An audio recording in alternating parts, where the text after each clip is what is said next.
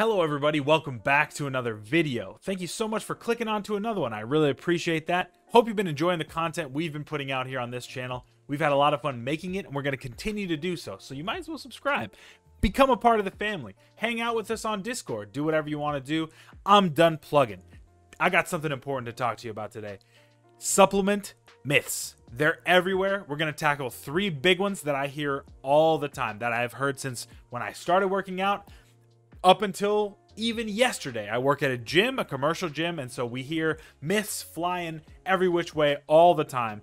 Today, I'm to do my best to break those myths down, to hopefully give you some evidence as to why they're true or not true, and get you a little bit more educated on the science of supplementation so that you can make an educated decision whether or not supplementation of these nutrients is something that you want to do. Before we get started, a couple quick caveats. You know, I got to take care of the legal side of things. We don't want to get sued now, do we? Okay. Number one, supplementation is never a must do. It is never necessary, right? Think of the word supplement to add on to something, right? So you should be getting nutrients through your diet, through the food and beverages that you consume. If you feel like you're lacking in something, you can supplement. If you feel like you want to try the benefits of something, you can supplement. So when we talk about creatine or when we talk about protein supplementation, don't think that I'm saying you must do this or you're never going to grow or you're never going to lose weight. No. These are just tools in the tool bag. This is something you can employ if you feel comfortable doing it. Caveat number two.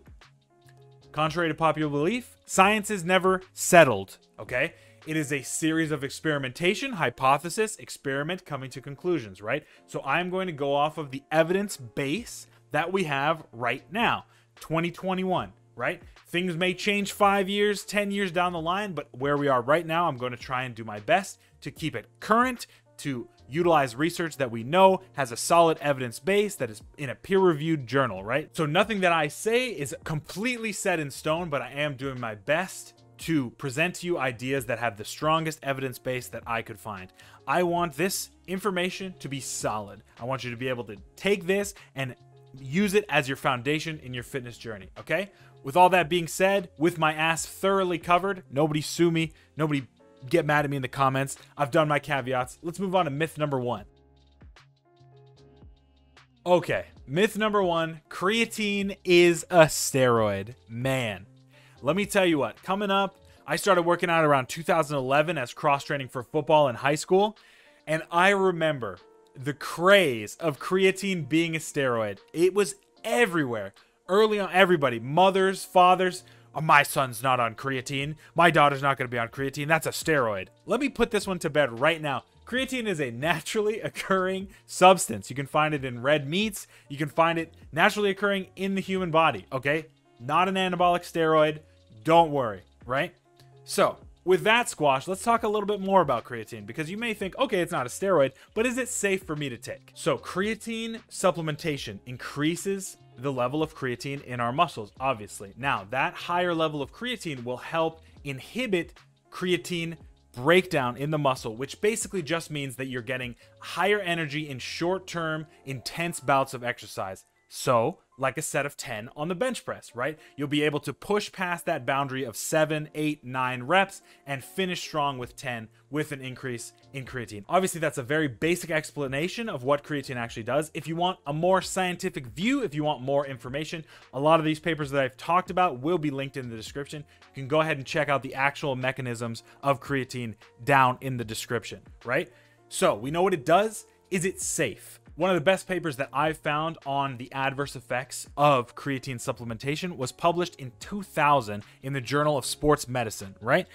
Basically, again, I'm going to link the paper down below, but one key point that I'd like you to bring your attention to liver and kidney dysfunction have also been suggested on the basis of small changes in markers of organ function and of occasional case reports. But well controlled studies on the adverse effects of exogenous creatine supplementation are almost non existent. I don't know about you guys, but that is enough evidence for me. Again, I will link this paper down below if you want to dive deeper. But first and foremost, creatine is not a steroid. If somebody comes to you and tells you that it's a steroid, let them know that you can find it naturally occurring in red meat and in the human body. Two, it's a great supplement. It's one of the most researched supplements that we have, one of the most researched ergogenic aids that we have. And so I have found personally some great, great effects of creatine. I've been supplementing creatine for the past three, maybe four years, and I have seen a marked difference between when I am supplementing it and when I'm not supplementing it. I feel like it just gives me that little edge to finish off the set and get a quality workout in. Okay? So that's myth number one. Hopefully that one's busted sufficiently for you. Let's move on to myth number two. Myth number two caffeine taken pre workout will give you a heart attack. Oh boy. I mean, I definitely see where this one comes from. Who among us has not taken a little bit too much coffee in the morning and your heart starts fluttering and oh my god, I'm going to go into cardiac arrest. Why did I drink that second cup? I get it. So, when you pair that type of effect of taking caffeine with a high stimulus workout where your heart is beating already, you're getting into the 150, 160 beats per minute, I can see where people would think that maybe if I take caffeine, I'm going to push myself into cardiac arrest. Now, there is definitely some truth to this. We have to be careful. If we're pushing the caffeine boundaries past the recommended dose of at maximum 400 milligrams per day, we can get into some trouble, right? We've all seen the TikTok videos. The dumb kids dry scooping pre workout, taking 800 milligrams of caffeine and washing it down with a bang energy. Next thing you know, they're in the hospital. I'm not talking about that. What I'm talking about is adults correctly utilizing caffeine for its ergogenic aid properties, taking it pre workout at the 150 to 300 milligram range, and having a strong workout without any cardiac repercussions. Is it even worth it? Is caffeine supplementation even worth it? Well, a paper that I have found from the Journal of International Society of Sports Nutrition says Yes, supplementation with caffeine has been shown to acutely enhance various aspects of exercise performance in many, but not all, studies. Small to moderate benefits of caffeine include, but are not limited to, muscular endurance, movement velocity, muscle strength, sprinting, jumping, and throwing performance, as well as a wide range of aerobic and anaerobic sport specific actions. So it seems to me like it could be something that you could consider utilizing, and the benefits have a solid evidence base. Now, will it kill you. So, caffeine supplementation may be something that you want to consider, right? Let's talk about side effects very quickly. It probably will not give you a heart attack. Obviously, check with your doctor before starting any type of supplementation or any type of exercise regimen for that matter. We want to make sure we don't have any pre existing conditions, anything that can give us some trouble. Once we're free and clear, we got the doctor's signature. I think, based on my reading of the evidence, that you should be safe supplementing caffeine as long as you stay within the recommended dosage. However, there are a few things to look out for, one of them being sleep deprivation, the other being an uptick in your anxiety. I've experienced both of those. Taking caffeine too close to bedtime has caused my sleep to just get absolutely screwed, either not being able to fall asleep or poor quality of sleep. Secondly, an uptick in anxiety. Obviously, if you're someone who deals with intense anxiety on a day to day basis, an increase in caffeine can boost that anxiety up to unwanted levels. So, with anxiety, we want to make sure that we're attacking that underlying anxiety before we add caffeine into the equation and get the anxiety spinning out of control. Therapy, meditation, there are a number of different solutions to attempt to get your anxiety under control. Obviously, I cannot speak to your specific case, but if you're dealing with anxiety, I would advise you to seek help from a medical professional. Find a therapist that you trust and work through that anxiety with them. That is a very basic overview of caffeine and its ergogenic aid properties. Again, if you want more, check the description. I'll link the study for you. It goes into so much more depth than I can get into in this video. Let's move on to the third and final myth of today's video. All right, this is a myth that I've seen gaining prevalence a little bit more and more with more people entering into the carnivore diet or, you know, more bodybuilders taking over social media.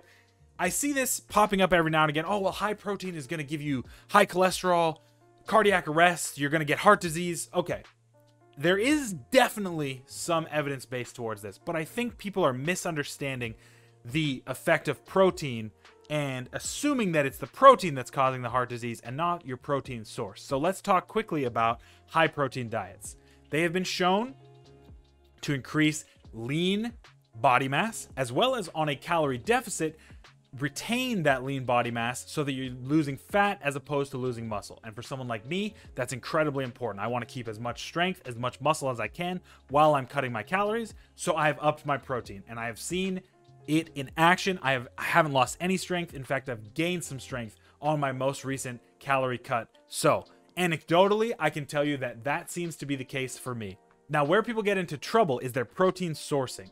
So, normally when we think of protein, we think of beef, pork, eggs, all foods with higher cholesterol, right? So it's not so much the fact that a higher protein diet is causing heart disease or higher cholesterol, it's more so your protein sources. So instead of reaching for that fourth steak of the night, maybe we try and look for a pea protein supplement or a plant based protein supplement that might allow us to get to our protein gram per day goal without boosting up that cholesterol and causing our cardiologists to lose their mind. Okay?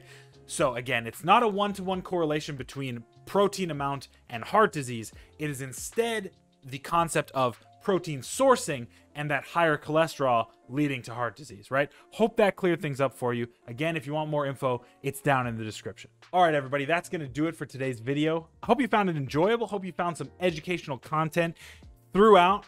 Again, check the description. There will be all the papers I talked about linked down below. Read them for yourself.